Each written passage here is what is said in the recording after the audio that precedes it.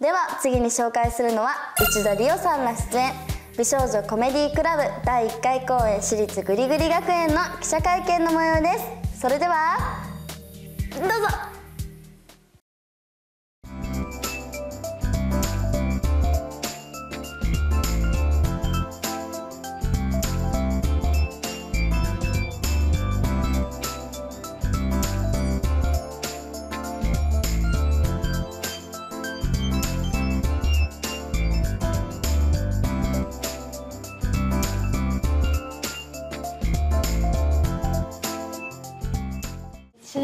務めさせていただきます内田理央です。え今二十歳です。そうですね。主演で少し緊張していてあの先ほど皆さんとあのお話しさせていただいたんですけど本当に濃ゆいキャラクターをお持ちの皆さんなので私半透明にならないように負けないように頑張りたいと思います。よろしくお願いします。杉有沙です。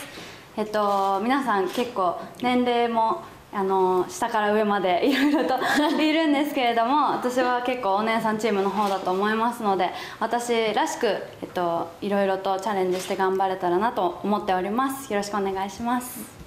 えー高田由美です、えー、と私はこの中で一番ずば抜けて年上の27歳なんですけれども、あの今回あの13歳も年下の女の子とあの同い年の役をやるということで、まあ、女子高生という約まあ10年ぶりの女子高生ということであの楽しみながらあのみんなを引っ張っていけたらなと思います。よろしくお願いします。飯田由香です。14歳の中学2年生です、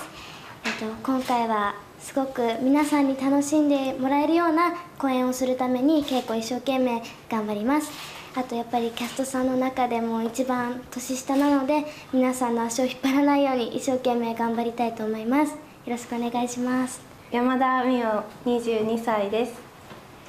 意気込みはそうですね。飯田さん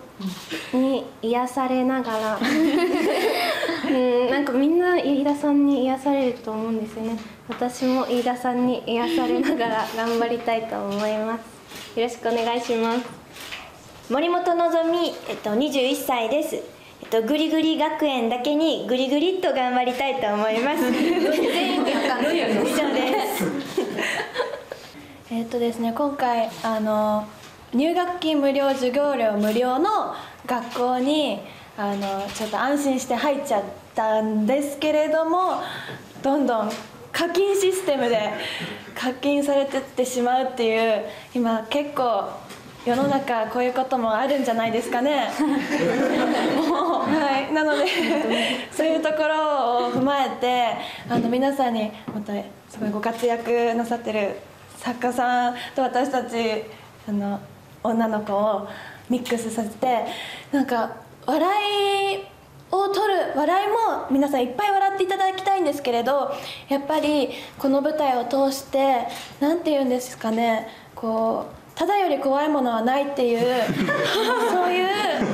なんだろうことも学んでいけたいただけたらなっていうふうに思います。部活を皆さんやるみたいで、はい、そうなんですけど、あのーこう一人一人の個性が本当にあの出せるような部活にをこうに入っているというかこうだ出すことができる、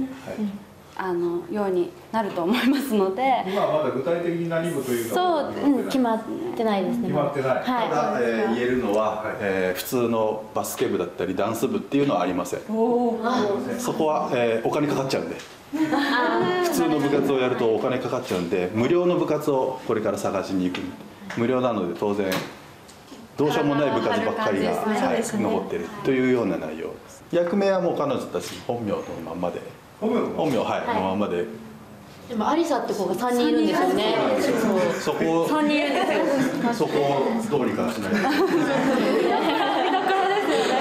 そこも見どころどうやどうしようかなと思って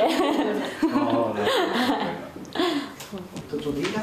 さんなんですけど、まあ、この舞台を通して自分のこういうところを見てほしいとかってありますか？そうですね。私今アイドル活動でスマイル学園という事務所のアイドルやってるんですけどその中でみんな個性豊かすぎて私のキャラが目立たないんですよ。それがちょっと悲しくてここ 悲しくて。なのでこの公演演で私のキャラをバーって出せたらいいなって思ってますえー、とご自分では、えー、とご自分をどういったキャラだと思ってますそれがまだ全然自分でも分かってなくって友達からはよく癒し系だねとかバカだねとは聞くんですけどあまり自覚がなくて。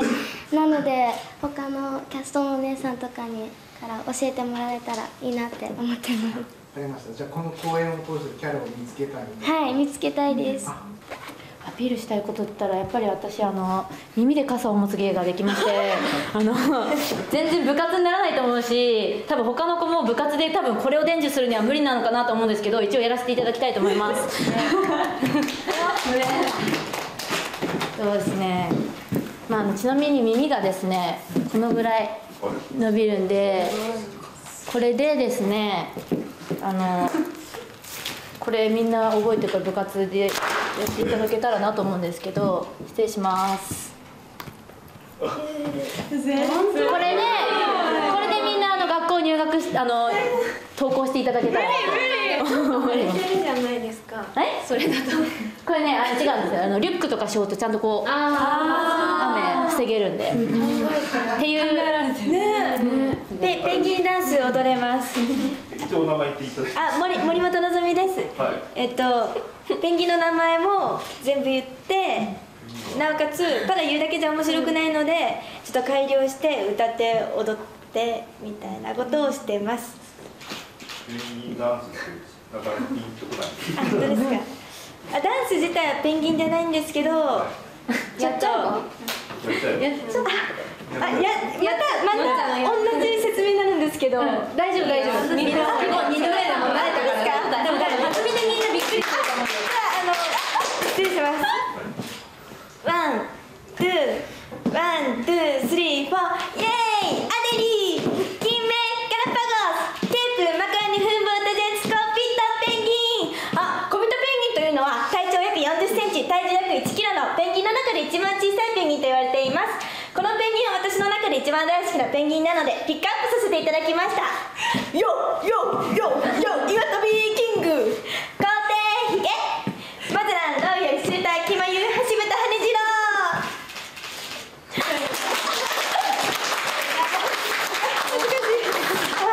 このペンギンの名前を織り込んだはいそうです。オリジナルなんですオリジナルいやうんなんか聞いたことのあるようなメロディーをちょっと合わせてみちゃったよみたいな感じなんですけど。多分多分これ部活にならないと思います。あの打ち上げで打ち上げで使わせていただこうと。先ほど言ってました。みんなはペンギンダンスはできないんですけどなんかいろいろはい。それぞれに特技を生かせるようななんかお話にしていただけると思うので、